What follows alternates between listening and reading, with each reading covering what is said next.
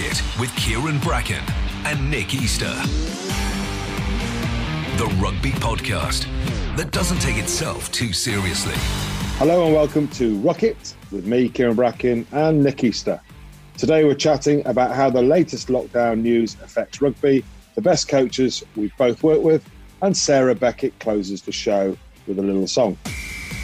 Ruck It with Kyran Bracken and Nick Easter. So, Nick, uh, another week in lockdown, but um, I, am sure you were glued to the tally at seven o'clock uh, last night. Uh, stay alert. I mean, uh, well, I don't know what to make of it. I don't know what you think, but it's all a bit it's all a bit weird because no one knows what that means.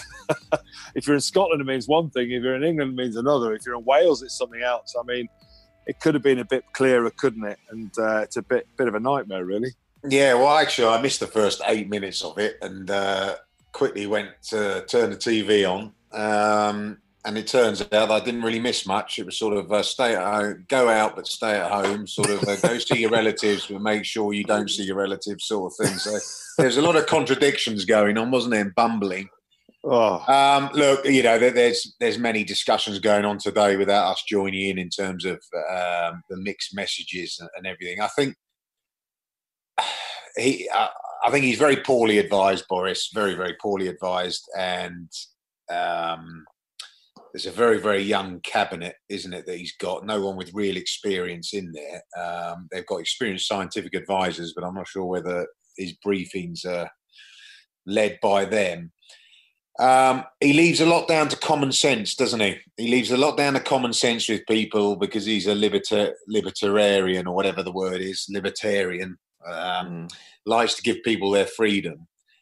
Um, but unfortunately, most of the population isn't like that. They like to be told what you can and can't do because otherwise they'll flaunt it. You've seen already the tubes this morning already back to okay, not not what they were pre-lockdown, but certainly a lot busier than they have been the last six weeks, and certainly not social distancing. Yes, some have got masks on, and uh, apparently the return to work was meant to be Wednesday not today. Just, but even that wasn't a... clarified. But I think what we can discuss um, is, and I've sent a few texts out to players and agents, haven't really got a definitive answer back. But when he said you can, if you can't work from home, then you must get back to work, or you can drive to work. Then yeah. That, try and drive to work. So don't use public transport. So as far as a rugby team's concerned, they all drive to work. Not many, if any, use public transport. Um, and they obviously can't work at home because it's a team sport and you'd be out in the field practicing their skills if they still have to be socially distancing so there's no contact involved is does that mean rugby teams are, uh, are back training? Well i mean i know football started a few weeks ago. I think arsenal were, were doing that socially distancing. The problem is in rugby you know you're all handling the same ball and, and obviously there's, there's contact in rugby. You may have read which uh, which I find hilarious. And you're a good, I think you're a good friend of Hugo Monye, saying it's great now. Rugby can change. It's going to be much more open. We're going to have uncontested scrums. We're going to have a new style of rugby. And I thought, is the world gone mad? Am I missing something? Rugby is about contact. It is about having huge lumps in the front row with very low IQ. You know what I mean? It's a, it's about it's a contact sport. What are they talking about having no contact for and changing the face of rugby for for a bit? I mean, even John Mitchell said, "I'm really looking forward to coaching the guys differently with the new social distancing." I was thinking. Listen, I mean, I've got, I, I, I don't know what, what's happening at uh, your club. It's Wimbledon. Is it Wimbledon? Is that right? What's your club? Well, mate, I don't. I think. I think uh, as far as the amateur, look, this is again opinion, mate. And as yeah. far as you know, you talking about Hugo and John. Um, I think that they don't really want to do an interview about it, but they're doing it, and uh, t- you know, towing the PC line, and you know, not trying to get into a controversial discussion about it. But we know what rugby is. We've spoken before on this podcast, especially recently, yeah. about not having too many changes. But uh, yeah, I mean, look, rugby but, without scrums is just like not rugby. That's a different sport. So you might as well just say, right, we're, we're done with rugby now. We're not playing that. We're going to create a new name for a new sport, and that's it. That's the end of it. UFC are back. Dana White's yeah. uh, decided that he's going to make his own rules up and uh, forget the rest of the world. And uh, well, they were meant to be coming back, but I think someone tested positive in that. I'm not entirely sure of the details. But uh, I'm I, am i am coaching at um, well, I've just I'm I haven't started yet, but uh, for next season I'm going to be coaching at Wanstead Rugby Club, and um, and I, I, I, got a feeling though, uh, you know, if if rugby if they do change the way rugby's played, I did say if there's no contact, I fancy making a comeback. I could probably still play because there's going to be no tackling. But it's it's frustrating because how do these amateur clubs plan for the future? Because I can't see until there's a vaccine that rugby will be in its present format will be allowed, will it? I just yeah, I think uh, I know. I was you know spoken to uh, the, uh, the the chairman, the chief exec, oh, sorry, the chairman at Wimbledon, and you know I've had conversations with other you know head of head of schools rugby, and they're they're planning that rugby will not be taking place in the winter term as we know it, September to right. December, and the amateur clubs are planning that it goes back in January 2021. Um, right. Because you know they're taking a much more realistic um, viewpoint of it and mm. uh, preparing, you know, to sort of keep the club going in, in various different forms and, and, you know, using their initiative to, you know, run, you know, okay, I say social events, but obviously socially distant events and, you know, maybe doing other stuff to basically um, allow the club to function. Um, you know, it's a situation we're in. It's unique, uh, certainly unique to our time, um, and you know, the, the world's got bigger. You know, businesses um, and challenges are obviously much bigger than what they were when mm. the Spanish flu was around and previous pandemics. And uh, you know, you're going to have to make the adjustments. But the professional game, uh, you know, you, you say, okay, so they go back, they're touching the same ball. Well, you can wear gloves. So there's an opportunity for a rugby manufacturer, a glove manufacturer, to go and make a bit of money by selling gloves. And it's the same with golf and tennis. They're saying, right, you can play golf and tennis. I understand maybe a few other yeah. sports. Horse racing's gone back, going back in France this week. Um, is okay, tennis, you're touching the same ball. Well, wear gloves. You know, surely play if you really enjoy those sports, playing tennis or playing rugby with gloves, as much as you might despise wearing them, is better than not doing it at all. Um, if, you're, if you're that concerned about it, I know obviously with professional clubs as well, I'm sure that they'll have rigorous testing um, the night before, maybe when they leave training. Uh, look, we know that you can be asymptomatic, that the incubation period can be a week sometimes as well. Um, but, you know, with the temperature taking or until we get more uh, tests that uh, discover whether you've got it quicker or mm. you've had it um, that's the best well, that they can do, really. I, I, think I think it's quite clear. You know, maybe the Premiership may be able to play behind closed doors if they can have testing and be isolated as a team. But it's a lot of problems. But I think the big the biggest sort of uh, problem, really, like you say, will be in the amateur game where they don't have that infrastructure and they can't come together and play any rugby. But it did get get me thinking that over the last three or four weeks, we've we focused a lot on on players and and you know uh, teams you know which is the best teams we played with. And, and it would be good at some stage maybe next week we'll do the best best international players you've ever played against. Um, I played for 10 year, years with England so I played a lot of people. I, fortunately, I played against the likes of Jonah Lomu, Joost van der Westhuizen, and those sort of players. And, and you probably played against uh, more of the current crop. So it'd be good to pick my best 15 I played against against yours and see what the people think which is best. But I thought it'd be a good opportunity to talk about coaches, the best coaches, the worst coaches that you may have had at club and country. Um, now you're a coach yourself, and you know what what's what who inspired you? Who would you look up to in your career, both you know, uh, you know, club and country, and, and, and who was let's be honest, who wasn't the best? Well, you know, when I look, look, we we we played in different. We we probably played in a similar era in terms of how coaching's taking place. Coaching now, like leadership, is is much more about empowerment, much more about giving responsibility to the players. Yeah. Um, and you know using their talents and insight whereas when we were playing you know we had, there, there, was a little bit of that towards the, you know the latter part of my career but certainly the beginning it was much more dictatorship it was, probably, it was a bit more dictatorship yeah, um, yeah. but but only but to be honest Brex, that that's needed sometimes isn't it autocracy yeah. because if you've got, you know, I'm not saying you are low skilled workers, but just talk about in, in the sort of working world. If you've got low skilled workers or ones that find it hard to motivate, then they probably need a bit of micromanagement. And uh, That's what Yeah. it was, wasn't it? Look, this is the plan. Yeah. This is what you do. There was probably average three or four players that understood the game plan. It would have Mm. been the fly half, the scrum half, an intelligent number eight. Thank you. Um, and, and maybe another back or back row or whatever it might be, or an intelligent skipper maybe in the second row. And they And they about ran it yeah, people just want people just wanted to know what their jobs were, and, and there's still people that I played with who are actually younger than me that actually prefer that. Mainly type five guys, of course, Mm. but they want to be told, "I want you to hit 20 rucks a game. I want you to shore up the scrum, do your lifting a line out. If you make, you know."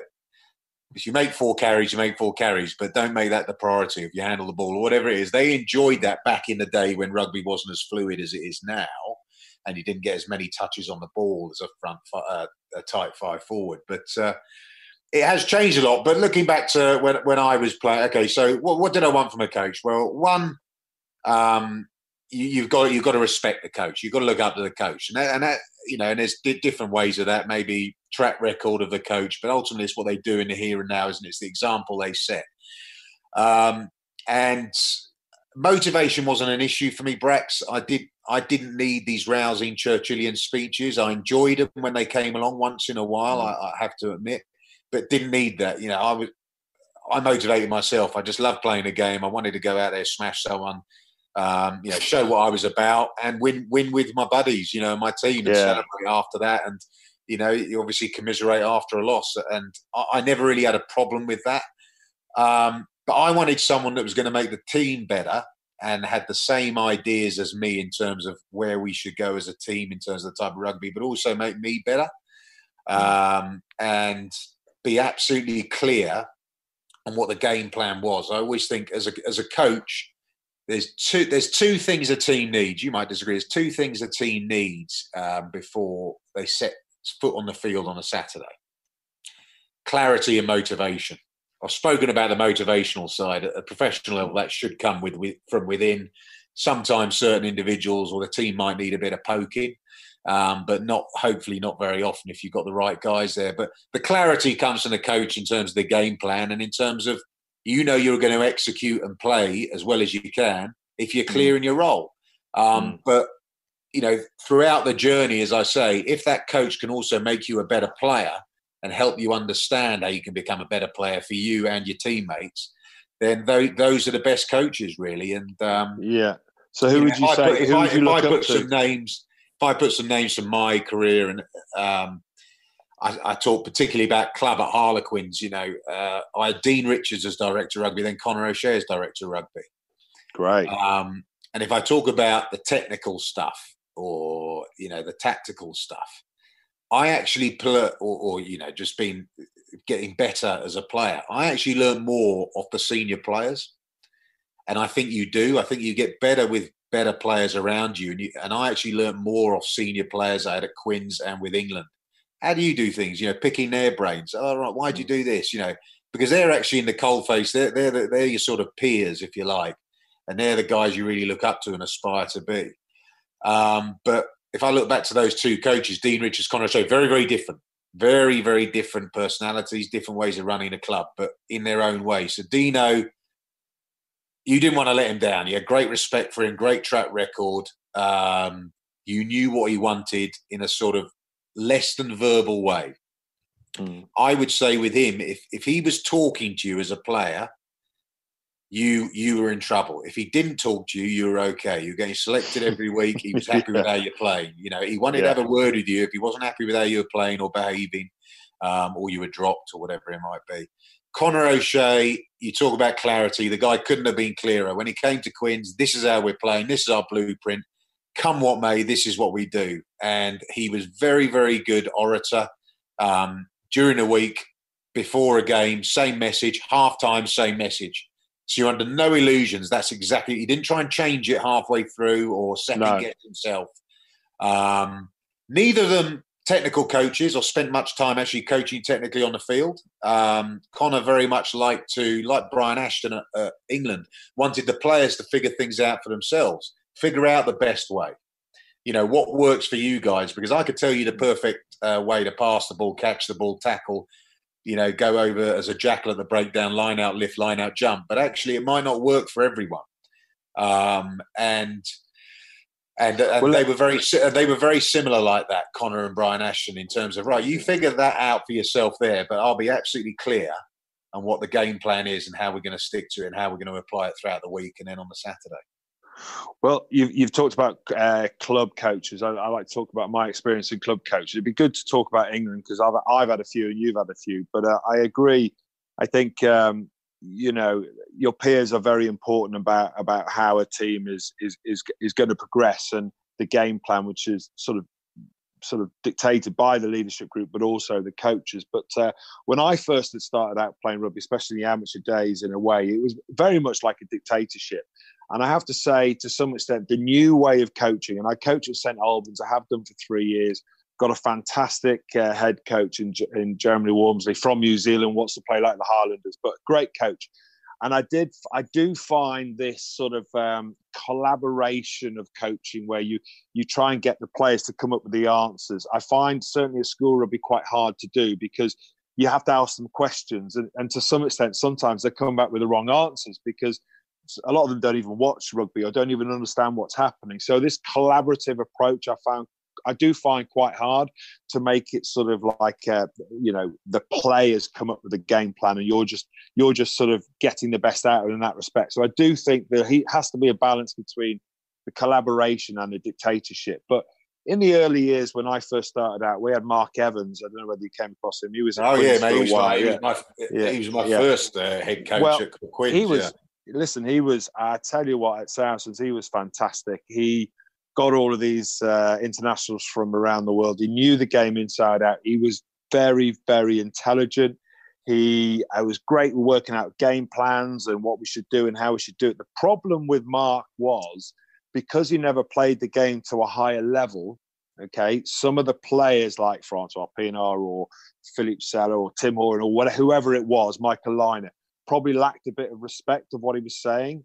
And in a way, I always felt that he was probably one of the best technical coaches that I'd ever seen and really, really bright and understanding. But unfortunately, it broke down um, later on because there were too many, uh, I, what I would call personalities who thought they knew better. So he was one of the good ones. The thing is, I've, I've had some, you know, Francois Pienaar, who was fantastic as a leader for in South Africa. But you can imagine the way the South Africans, and you coached out there, the way they coach, it's it's it, well, what I experienced with Francois is so much like a dictator because he he not only became um, coach, he made himself captain as well, but also he was the MD and the chief executive, right? So he got rid of it. He ended up having every senior post, and the way he dealt dealt with things was a very Africana way. We will do this. I don't care whether it's working or not working. Listen, he was a great player, did great things, but actually it didn't quite work with all of these different internationals from different countries.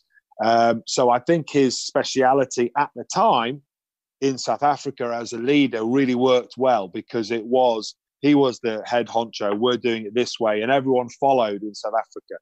And I think when he came to Saracens and took over, it became difficult because that's not the way of the world. There's a lot of internationals around the world had different, different, you know, uh, uh, Thomas Castaignède, he just couldn't toe the line. He was like, you know, Francois, why have you done that? And he's like, well, because I thought I could score a try and I do this. That's not the game plan. This is what we're doing. Um, but again, I particularly liked uh, working under Steve Diamond, um, and I know p- perhaps that goes back to the, the sort of dictator style. Yeah, I, I think Steve to be honest, he's doing a great job up at Sale. Uh, he did a great job at Saracens uh, to some extent, but uh, I loved his basic game plan, basic principles. A lot of people have respect for him, understood the game really, really well. Perhaps could have um, opened his horizon to being a bit more, a bit more adventurous. Um, but then it's funny when you see, and I know there's a name for it, when when coaches who assistant coaches who end up getting the, the main job. So Mike Ford, who was our defence coach, who I thought was brilliant, ended up getting the head. Uh, Steve Diamond left, and he became head coach. And some assistant coach, where you think would be great as a head coach, don't end up being great head coaches. Uh, that's why I'd be I'd be really interested to see how um, and Andy for, for Ireland how he gets on from assistant coach. Uh, you know, Andy Farrell to head coach. I think it's a different job. It's a harder job. And Mike Ford suffered that he didn't quite make it as a head coach when he was at Saracens anyway. I had Eddie Jones for a while, and and this is not be, me being necessarily bitter against the man. Um, I, I, one thing I disliked about some coaches was the way they played the politics within the team and the club. And what I what I disliked was um, Eddie Jones, and I, and I don't know whether he does it with England or not, but he used to he used to lick up to and praise the senior players to try and get control within the team. And then he used to rinse the young guys. I mean, rinse them like you wouldn't believe. And I find I didn't enjoy that. I thought that was the, wrong way to to coach. And and I think from what I hear, it's the way he does it with England as well. He's sort of yeah, like must, you, he must have come out. He's quite. He's he's, a, he's got a sharp wit, Eddie. He must have come up yeah. with a few. Uh, you must remember a few examples of. Uh, well, no, how he dealt with the youngsters there. Oh, I just remember one of the players. I remember one of the players. He had a cracking game, and he got man of the match. It was one of our fullbacks. I can't remember his name. Yeah, cracking game.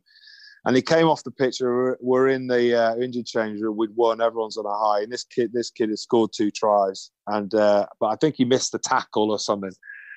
And he just went, mate, you know, you missed a tackle. And he's like, yeah, yeah, yeah, yeah. And he goes, what about my tries? And he goes, no, no, no, you missed a tackle, mate. You're not playing next week. And he just rinsed him in front of everyone. Just straight after the game. Oh, straight after the game, right? And everyone's like, bloody hell. And then he dropped him for the following week. And I was like, are you serious? He was outstanding. And I don't know why, but and then and then they do a review, and he'd do a review and he'd go, "Oh, look how good Kyran was! Here, look how good you know the senior players." And then he'd just get one of these young kids with a bad pass, and he'd be, mate, you got to in in the morning, you're passing half an hour. Mate. It was it was like, but it was his way of gaining control with the right people within the team. So I didn't like that. I didn't like. I sort of like you know if I would like a coach to basically call the, the senior players out uh, and basically praise the young ones, irrelevant of where they're standing in the team is. But um, yeah, Francois. I just say, man, I, on on that, it's a very good point you put because we before I went into coaching at Harlequins, one of the, you know, we'd had a couple of bad years. We'd sort of fallen off. We, we had a good time, and Conor left, and we're sort of on a slippery slope, and uh, sort of just got the views of the players, okay, going into sort of now coaching them. And they yeah. said, well, you know, they didn't like the fact that some some of the coaches there were uh, did exactly the same. You know, pick on the easy targets. Yes. But actually, when the senior players do something, it's sort of glossed over. So I made sure that I would treat everyone fairly, but actually, I think you would get more, uh, more of a kickback in terms of reward if, um, you know, there was an international there, and you said, "Look, you know, this isn't how we want things done. Do you agree?" You know, obviously, you've got to get their collusion as well uh, in it. You, yeah. know, you can't sort of like uh, just suddenly throw it upon them in, in, in a room full of forty people because some of them do have, you know you know, they, they, they, do have a standing amongst them and a status amongst them. But, uh, you know, a lot of the guys there would take it on the chin, but it has a double effect. So what happens is that the guy is second, third, fourth choice. They go, right, well, actually, if that's how you're meant to do it, that's how I'm going to do it. Whereas yeah. if you went to that second or third choice, the easy target, the youngster, whatever, and he said, well, yeah, the senior player might, I'm not saying they do, but they might just go, oh, God, yeah, he's let us down again. And he would never have any sort of self improvement and he would carry on making the same, but you know, mistakes or whatever or, or, bad choices in a game. And so you, it actually just has a negative effect on the whole environment and obviously the quality of play you're trying to develop as well. But it's a way of it is a way of coaches gaining control. And my my first coach was um, Geoff Cooke way back in 1993. He was re- really good coach. But you could see he was he had all the you know he had Will Carling and Rob Andrew and all these players in his pocket, Dean Richards and and effectively the young guns coming in just got rinsed and but I do remember Geoff Cooke would openly praise the young lads. But then when, when Jack Rowell got the coaching and he was coach at uh, Bath and he got the coaching and he was such a nightmare. Well, you talk about mind games. I remember I played against Canada and um, I made a couple of breaks, scored a try. And he, he basically said to me at the end of the session, he said, stop, stop running down blind alleys. And I was like, what do you mean by that? He said, stop running down blind alleys. Next day he said, stop running down blind alleys. And I had to try and interpret what he was trying to say. What he was trying to say is maybe don't take it on so much yourself. And I remember for the following year, I took it on less. And when I look back, I think, what a twat. Why was I listening to someone like that who who had such an average game plan? He he was so average as a coach when it came to how we're going to put. Can you imagine against you know New Zealand semi final of the World Cup? He didn't even mention Jonah Lomu in the team talk about what we're doing. Didn't think of swapping the wings of Rory Underwood and Tony Underwood. Um, but he was just he was awful. I mean, I, I was interested though. He, know, um, of, his era, he just he just wanted the biggest men, didn't he, in the forward back? Yeah, that's all he that was. The, that was the that was the '95 World Cup when you had Rodber, Clarke, and Richards in the back row. Yeah, um, and I know Lomu had the you know was suddenly on the you know the global stage after that game, but yeah, I think the effect the All Blacks did at the breakdown with Josh Kronfeld really showed up that sort of lack of balance, didn't it? From memory. Yeah, absolutely. You're right. But, but and the sort of pace speak, they were playing with due to that as well. But not to speak about Jonah Lomu or even think about switching the wings. It was just he. Yeah, look, okay, hey, I remember. Well mate, I was at school right when that, yeah. and we had obviously you know beaten Australia last minute drop goal, wasn't it? Rob Andrew. Everyone was cock a hoop and uh, we were taking on the All Blacks. Jonah Lomu was the, you know, he was the superstar of the world. How are we going to stop him? I remember, mate, the rumours going around that Victor Ubogu used to play wing at school, and they were thinking of putting him on the right wing again. Shut up, Victor Hey, did you not hear that one? Did you not hear that one? No, he was doing no, around no, to school, mate, and amongst all my mates and the other schools was yeah, he's going to play. He's going to play Victor on there because apparently he's really quick, actually, deceptively quick, and that he used to play wing at school. Or something. I go, what I tell you, what I'll go ask you is, um, and I, you know, you might might want to get my opinion on Clive Woodward. I don't think you didn't have Clive Woodward. He, I thought he was a fantastic man manager as opposed to team coach. The great thing about Clive Woodward, what he did is he got really good coaches around him.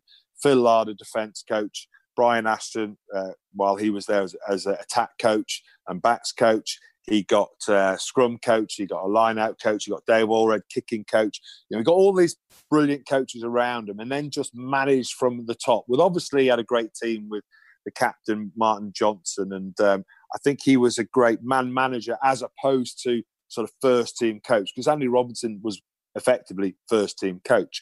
Uh, but I, would love to ask you about, um, you know, how one of my sort of coaches in Brian Ashton ended up getting you to the final of the Rugby World Cup. And um, I do remember, well, I think, I suppose the criticism leveled at him was he was all about a bit like the French, uh, where they just, just play what you see, you know, um, just move the ball and uh, basically take people on, play what you see. And there was no structure, yet you wanted structure.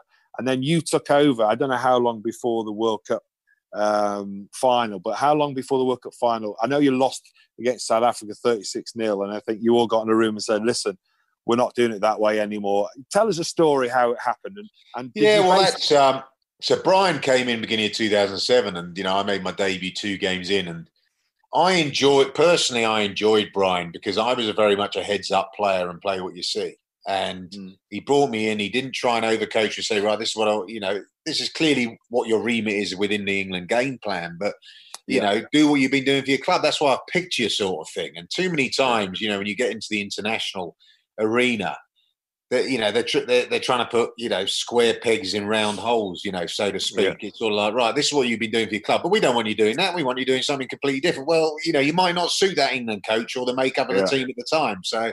Mm yeah, you know, I you know I enjoyed Brian, um, but he but I think with the group of players, you, you you've got to be able to coach with the cattle you've got. And I think the group of players, very experienced guys there, guys that won World Cups, but England had been a bit disjointed and disbanded for the four years since that. And he brought back a lot of experience there. You know, uh, Mike Catt was in there. Uh, ben Kay was in there. Phil Vickery, Martin Corry, uh, Jonny Wilkinson was back. You know, fit that year. You know, because he had three years of injuries. And you do need direction. You know, when you're working with 15 players on a pitch at one time and a core group squad of, of 30 and a wider yeah. squad of 45 when you come into the World Cup camps, you do need to have clarification of exactly what your identity is, what you're going to be best at, and you know your strategy as well. And within that, you can start unpicking who your best players are, working on you know working on those players, working with those players, and everything. But you, you have to be in agreement. And I think ultimately, and and unfortunately, this happened throughout my England career. Actually, is you had a group of coaches that never agreed on how you should play.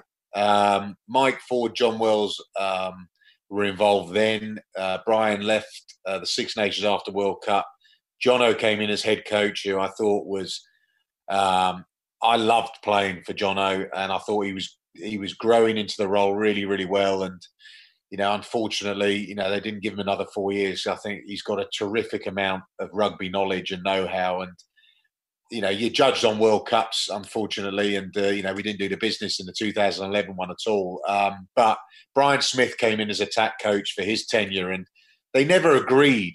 You know, it was a very dysfunctional coaching group, and you could tell. And unfortunately, when you're getting mixed messages, and I come back to the clarity thing, if you're getting mixed messages, you're not really sure what you're meant to be doing and why you're meant to be doing it and who for you're not going to perform that well, and you're certainly not going to perform well consistently, which is what you need at the highest level or any level. So, how did how did it work with the coach, though? When it, when I heard that the players took over, they're going back part. to 2007. Yeah, basically after that, um, you know, we had mixed results in a warm up. You know, scraped through against USA, being humped by South Africa, and really embarrassed. You know, for for world champions, and we just decided, right, you know, you, you know you've got to pull your finger out what are we doing you know how how are we playing if you you know if you're not going to tell us this is how we're going to do it so the players really took you know mike catt Olly Barkley were very very much at the forefront from an attacking mm. shape perspective because we didn't really know what we were trying to do in attack um, you know from an ex team point of view you know we had to clarify that and you think well we've had eight weeks together you know, probably more 10 weeks together and it's like well there's certain things that should have been ironed out and absolutely clear in terms of uh, what what we're doing, and, it, and, it's and it wasn't the case. But because we had such, you know, you, you're the best, you're the best group in England, you're the best players there. You can pick things up quickly. It's amazing what you can mm. learn when you really put your mind to it, or how you can adjust and adapt. Um, and we had two tough games, Tonga and Samoa. Um, which never really given credit for. You know, Samoa really did push us. Um, I think we were we might have been losing or two points ahead or something with 20 to go. And, you know, we had to dig deep and really galvanise. Uh, Tonga pushed us as well and went ahead early in the game. And then we had Australia in the quarter final, and everyone was writing us off because they expected the England that got beaten by South Africa in the group stages. And we turned up, and actually the scoreline flattered them, to be honest. I think we put in a hell of a performance. Um, you know, took them on traditionally where we're strong and they're not at the scrum and the breakdown. Um, but played some good rugby in that game. And you know, we made it to the final, beat France on their home patch and as well in the semi-final, and, and played South Africa and only lost, you know, 15-9 or 15-6 was, but a much closer game. Yeah, but, but, the coaches were in the background, weren't they? Really, it was yeah, and you know, we, we took we took over from then, and I suppose it's what Brian was after, really, but uh, he didn't, poss- you know, he couldn't have really perceived or imagined that was the way he wanted to go about it, but they were very much in the background, and uh, you know they, they still had a big say in what was going on. I remember Mike Ford came in with his game plan against Australia and said, "Look, I remember specifically George Gregan. He was just saying because they had a lot of threats. Australia always have a lot of running threats, and you can't mark everything from a defensive point of view. You can't. You've got to trust in a system, make it the, the thing that you can't mark very well, the hardest skill to execute, or the hardest thing for the opposition to do." And I remember that game, it was sort of, we were going to get into, you know, the fly half, you know, Giteau at 12, we are going to get into certain back rowers, but we were going to leave George Gregan because he likes to run the show, but he doesn't actually like to run himself that much. A bit like no, you. doesn't. No. Bit like you, yeah. You know, he had a good yeah. pass off the base, but he was never a running threat. Um, didn't have the pace. And and that, that was the game plan, especially off lineouts. And he, he, said, look, if he does make a break, we've got enough pace to cover him. Um, but that is the game plan. And so there was a bit of input there, but very much, the, I think the further up you go, um, very much it's it's down to your senior, players, senior players well, well to work. And as you say, and collude with the coaches. And you know, Eddie Jones, yeah. you said Geoff Cooke when he came in. If you've got if you've got that synergy between your head coach and your senior players, um, you're going to be successful. I was just intrigued though, and I was really disappointed with the. Um, I suppose uh, Martin Johnson for me, you know, best captain I ever had. And if I was ever asked, you know, which player would have the best rugby brain acumen in a game of rugby, would be Martin Johnson. And so it would have been a perfect storm for him to go into coaching. And I kind of think uh, it's so frustrating to see what happened and what could have been. You know, I'm uh, interested from you because you were coached by him it seemed to me from the outside, and I wouldn't know that um, that a he probably was he was a bit green to coaching because um, he didn't take on a like a lengthy role at say Leicester or a big club or whatever. He just got thrown in there when no one else necessarily would do it, and suddenly he was learning from scratch in a way. And it was a shame because I think I think the, what happened was the group of players that he was coaching, those were sort of players who probably didn't really cross over in his era, and therefore, in a way, he was treating the players the way he wanted to treat them. Where it probably needed to be a bit more like a school teacher or a dictator or whatever. And I think the players let him down. But what, what was he like as a coach, Martin Johnson? As I said, mate, I, I, I enjoyed Jono. I mean, originally, obviously, he comes in. He is the icon of English rugby, the most, probably, the, well, arguably, we we spoke about this before. You know, the best player England's ever had, and you know, won it, done it, uh, and won it all, isn't he? And um, he, he, he adapted to the role. He, cha- he he changed. The, he passed on the sort of leadership to the to the players. Originally, he was sort of very much like in his captain's role and everything. You know, trying to motivate the troops and everything. But as you say, his his IP is phenomenal in terms, especially how to win Test matches. I mean, the guy's played yeah. ninety, including British Lions, ninety odd, ninety two, I think it is, and he's probably won about eighty of them, or eighty yeah. percent definitely. Um, so he knows how to win test matches. As I said, um, you know, it, look, I think responsibility has got to be taken. Yeah, look, dysfunctional coaching group never really agreed on, on how they should play, and they all wanted their sort of ten penneth worth. So, so training could be a little bit long. You know, everyone had their half an hour, and you know, sort of didn't want to give their piece of the pie up uh, because they wanted to get their forwards bit and their defence bit, their attack coaching instead, instead of being synchronised and having a yeah. much more holistic view. They sort of said, right, this is what I'm doing. I'm going to micromanage my area, whereas actually that's not what was needed. Um, but also, you know, we, we let him down as players. You said it there, Brax. You know, did did we really push um, for the highest standards? Did we really behave and set the right example? And you know, did we did we front up when we needed to um, consistently? No, we didn't. Um, and look, I, w- I would like personally, I like to see him back in a game. Um, I can understand why he's not in the game. I think uh, you know he. It, it, took a it took a lot out of him. Um, it took post. a lot of shit, didn't he? Interesting, and completely unfairly. And I tell you what, what's good though is I don't think anyone thought the, the flack he was taking was fair. Um, no one held him fully to account. He would have held himself fully to account. That's the man he is. Um, and I thought he was treated, you know, pretty disgracefully actually um, after that. Um, it's a brutal world, though. The coaching. It is. It is, and I, and you know, John. is a big man. He knows that, and you know, I know it myself from coaching as well. It, you know, it's, it's cutthroat, and you, are there to be sort of shot at, um, and you take so, full responsibility. So, so, so, let's ask you uh, final question to finish off on the coaching. Um, your your favorite, sorry, your your favorite club coach and your favorite England coach, and I'll do mine. Oh, tough, tough that mate. I don't know whether we could have favourite because there are different.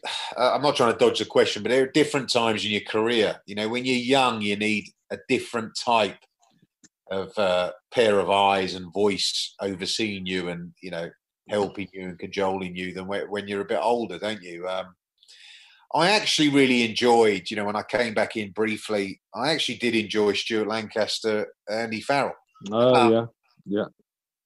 And again, you're judged by how you go in the World Cup, aren't you? And uh, look, we, we, know what happened. Not very good. Not very good, Nick. I think you know Stuart is a fountain of knowledge in the game. He's found his best role now, hasn't he? And he's always admitted yeah. that. He really liked being selector. He never liked yeah. having to have seventy percent of his job with sponsors and media, which England job no. is.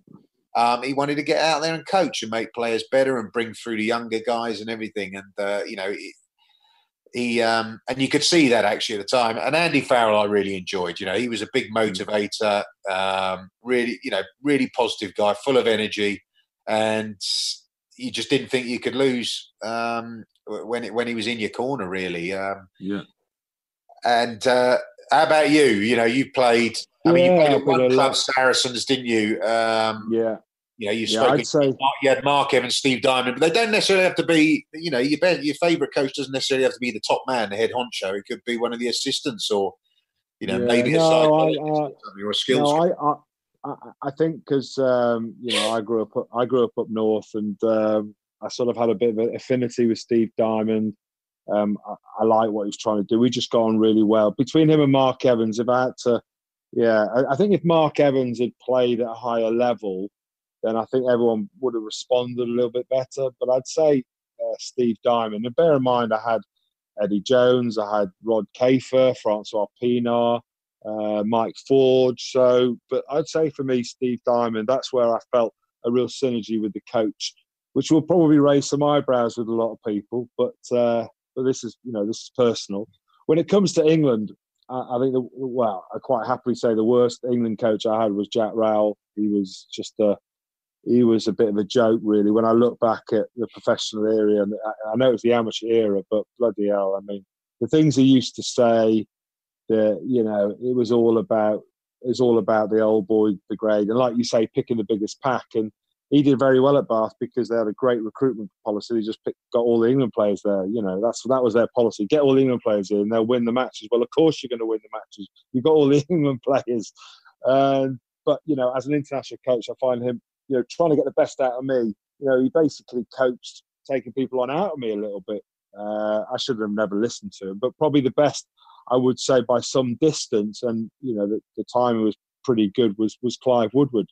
Uh, maybe wasn't necessarily what you would call, you know, a, a, a proper coach coach, uh, but he had a master plan behind it all. And like you say about clarity, I think that's the most important thing um, when it comes to you know what you want to do as a coach. I mean, myself, uh, coaching at St Albans and uh, with Wanstead when it comes is about it is about clarity, but it's about getting the best out of the boys. And I kind of feel that Clive Woodward did that by creating an environment. First of all, the training facilities that we had up at Pennyhill Park compared to where we were, instead of like going off to Richmond Park and putting some cones out or going to some rugby club where you know you have to wait for someone to come off. It was a disaster in the amateurs. But when he came along, first class facilities, first class uh, um, sort of support. Instead of having one doctor and one physio, we had two doctors, three physio, three masseurs. We had the best coaches from around the world in every little bit, and he just brought it all together. Now it doesn't work if you haven't got the players. So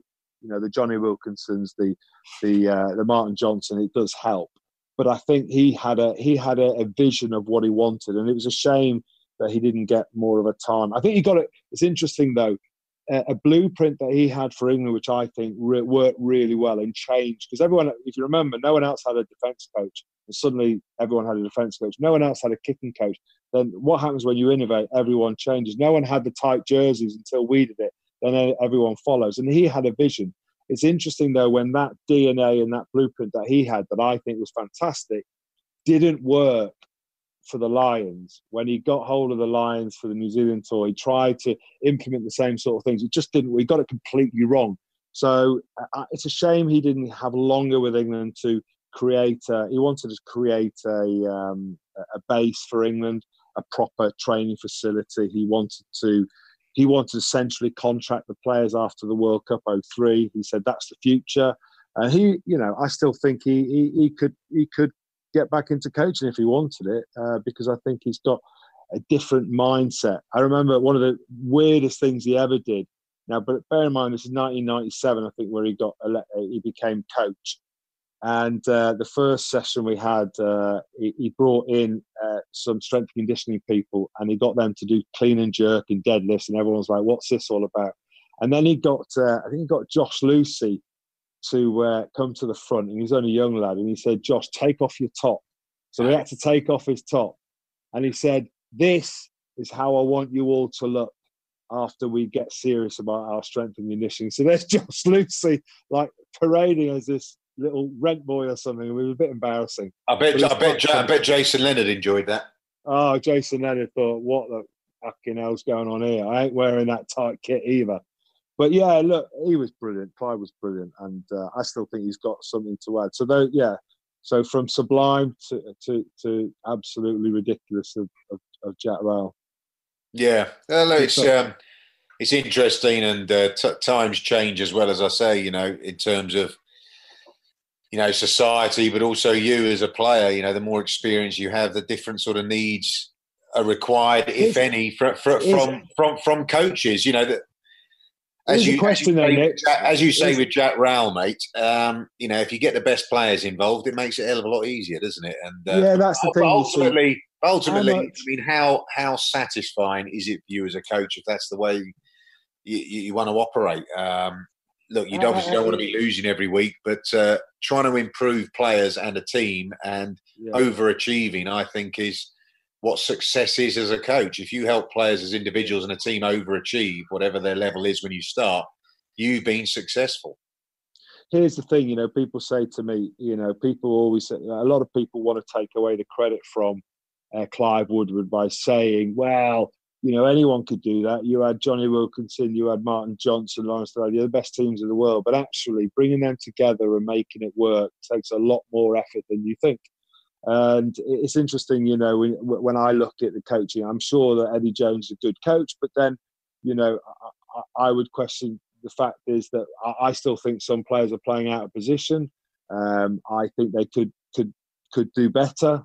Uh, that's my personal opinion. I know he's very successful, um, but you know, people like Warren Gatland who've been fantastic with very limited resources, um, and how he's going to, you know, he, he would you say is the best coach in the world. Then at the moment, if you had to pick someone, best coach in the world right today, oh. you have a. Well, mate, I mean, the best coach in the world could probably be someone we, we don't really know, but I'll, I'll tell you, I think well, I'll tell you what, before I tell you, I think, I think it's important as well to understand the people you're coaching, Braxton. And you said it before, especially cultures. You spoke about South Africa, where it's very much it is a dictatorship. It's this is what we do. And when I was out there coaching, I tried to make them make them take more responsibility, figure things out for themselves. And Did they like that? wasn't and and and eventually, you know, you you turn their thinking, and we got success from doing that. But it's very much against the culture there, and you know, even at schools, you know, the teacher says this, and that's what you've got to do, and they're happy yeah, to follow yeah. that. And to try and change them out, that takes time. You know, I enjoyed that challenge. New Zealand's very much like that. New Zealand is right. What do you think? Okay, let's explore this. Let's see your idea. Let's see my idea. Okay, now we'll agree on what we do. As they say, where there's, I think there's a phrase in coaching there where there's, where there's doubt, or sorry, where there's certainty, there's doubt. Where there's doubt, there's certainty. Meaning, basically, if I say, right, this is what we're doing, this is what we're doing, what we're doing, and you get some bright spots saying, well, actually, or thinking, I don't fully agree with that. there's a better way of doing this, but you don't allow them to express that opinion they're actually not going to be committed to doing what you want. So that's where there's certainty, there's doubt. Where there's doubt, there's certainty. Oh, is this the way we should be doing it? Oh, you think you should be doing it this way, do you? Okay, well, let's have a look at that. You look at both or more models, then you decide which is best. Suddenly you get the certainty. And they're very much like that, and you don't need to worry about them motivating themselves. The English, we like to ask a lot of questions. You know, uh, I think they like to question quite a lot. Um, and then you've got to try and come to the best solution. I think the Irish are a little bit more enjoy being coached. Um, you know, yeah. from what I understand, I've not coached over there, but just speaking to a few people that have and their sort of mindset. So um, I think you've got to understand the people you're coaching, the cultures you're coaching. Um, but if you would say who the best coaches are, well, let's have a look at the World Cup. Jamie Joseph, what he's done with Japan. Yeah. I think Jamie Joseph. I think the hardest thing he did with Japan was it was a home World Cup, and Japan had had the biggest shock in rugby the previous four years under Eddie, and yeah. and and that that's whereas if they were the home Cup, if they if they were the home World Cup and Japan had hadn't beaten South Africa in the Premier League, it was a little bit less pressure. But he took that on. He moved their game forward. He employed some very good coaches as well. Tony Brown, the attack coach, I've heard, is an absolute genius. Um, he brought in, uh, got the Hurricanes coach, kind of John Plumtree as defence coach as well, forwards coach. That coaching unit did brilliantly with Japan, and uh, you know yeah, they beat Ireland, they beat Scotland. They weren't too far off about uh, with South Africa. South Africa obviously bullied them, knew knew not yeah. to make it an open game. Um, and I think at the currently, if you were to look just from a glo- uh, from an international game, they would probably be up there. But there's some great coaches around, some great coaches around. Well, I, I, I listen. That's that's a great. I didn't. Yeah, we had we had one of them on last week, didn't we? Shaun Edwards. You know, who's, yeah. who's been there and done it. You know, I, I didn't even mention him. Warren Gatland, yeah. Eddie Jones. To, that's right. If you were to get your probably your perfect team, you probably have you might have Stuart Lancaster, Jamie Joseph, Shaun Edwards, and uh, I don't know Warren Gatland or, or some I don't know. Yeah, but yeah, I mean, there's tremendous coaches out there. Yeah. Okay, that's almost it for Ruck It. This week's interviews will be released on Friday, but here's a sneak peek of our conversations with Tom Curry and Sir Ian Botham.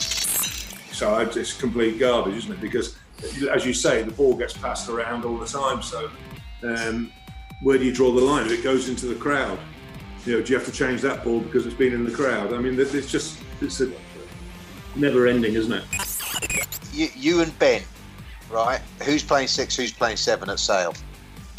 Oh, it's kind of changed. It used to be Ben was probably better at adapting to six when we first started. So I'd play seven, Ben would play six, and now it's probably kind of changed insofar as um, I'll play six and he'll probably play seven, probably because I can jump and he can't. Ruck-It with Kyran Bracken and Nick Easter, the brand new rugby podcast. You don't want to miss those interviews on Friday. We'll also be putting them on YouTube, so make sure you search for Ruck-It and subscribe. Now, to end today's episode, we're joined by England international Sarah Beckett. Hello, Sarah. Hello, how are you? Yeah, not too bad. Uh, thanks for joining myself and Kyran on Ruck-It. How you doing, Sarah? Yeah, I'm good. You all right? No, Quins, another another Quins number eight legend here. yeah, I've, I've been at Waterloo as well, Kyran, so don't feel left out. Oh, yeah, exactly. That's where it all started for me. Yeah, that's where it started for me as well. Good ground, good ground, Waterloo. Yeah, I played it. there. I played there actually. Back in the oral days. How you been coping with lockdown anyway? Yeah, no, like everyone else, I think um, uh, just training when when we can, trying to stay fit, and just finding new things to do. Um, I'm lucky enough to be with my brother and sister and my dad, so Yeah, oh, um, that's plenty of people to keep me company. What Family random stuff around. are you doing? What what sort of random stuff are you doing to keep fit? I'm intrigued. Innovative Um, ways. I bought a keyboard to try and learn that, but it's not gone very well, if I'm honest. So, um, no Elton John coming up, but um, no, just being, I'd say, like, um, I tried juggling. Um, I've got a Nintendo Switch. So I've been playing Mario Kart on that. Um, linking up with some of the girls who, like Shaunagh Brown in the England squad, plays at Quins as well.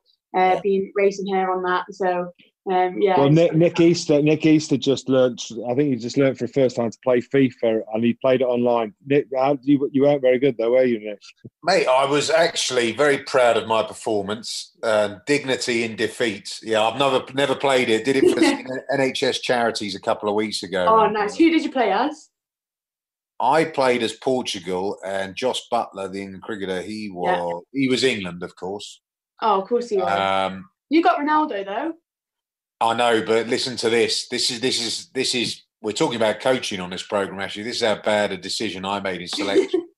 Ronaldo's obviously a striker, Yeah. and I switched him with um, Pereira, who's your uh, you know your sweeper. Because I just thought I I thought well I'm not going to get many touches up front because I never played this game before. Oh, no! Yeah, I'm going to be mainly defending. So if I'm going to do anything, Yeah. Ronaldo's going to dribble it out of defence and be a one man show, and I'm just going to use his obviously avatar skills Oh, um, no. win this game. I actually had a hell of a lot of opportunities up front. Pereira was absolutely useless. Nothing to do with the person, of course. Nothing to do with me. No, All What was the score? no, Just no. tell us the score. So, no Oh. excuses. What was the score? Uh, Four 0 Oh. two two nil, two nil each half. People were getting smashed ten 0 mate. I was expecting a ten. I was expecting a ten. I never played it before.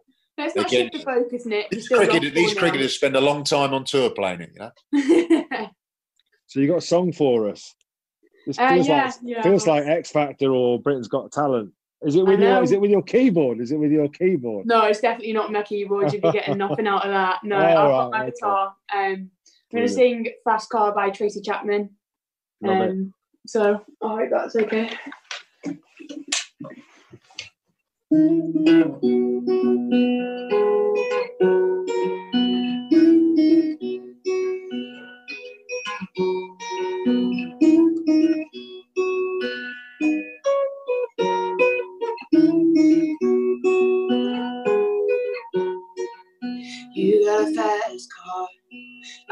Take it anywhere.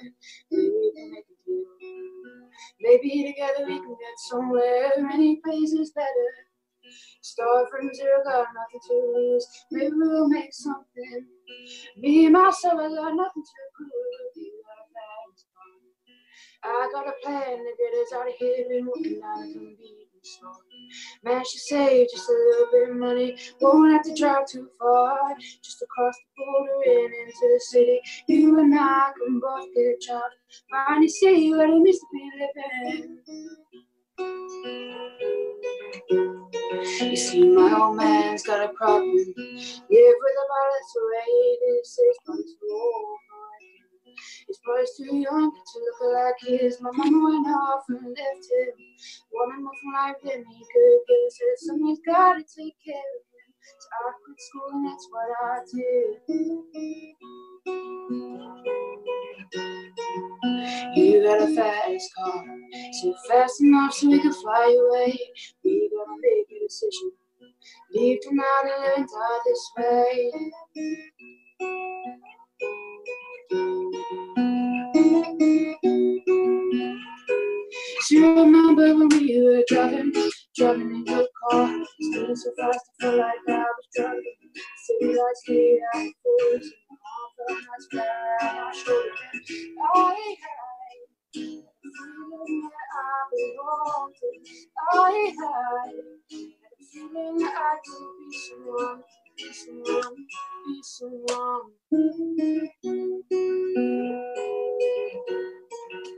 You got a fast car, so fast enough so we can fly away. We gonna make a decision. Live tonight and live and die this way.